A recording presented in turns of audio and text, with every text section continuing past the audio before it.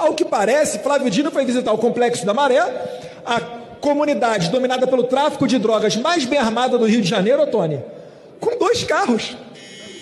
Ele chegou, ele chegou ali, prezado Abílio, com dois carrinhos, ou seja, está tudo armado já com tráfico de drogas. Galera do CPX está, ó, pode chegar que está na boa. É engraçado, presidente, porque o deputado Eduardo Bolsonaro, sempre que tem a oportunidade, tenta criminalizar alguma comunidade do Rio de Janeiro.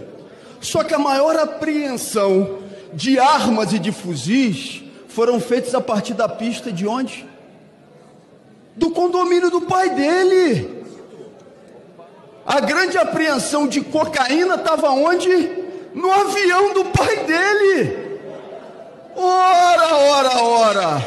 Está querendo enganar a quem?